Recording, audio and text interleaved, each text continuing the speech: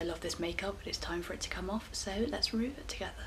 This is the limited edition Melting Moment Cleansing Balm by Alpha Age.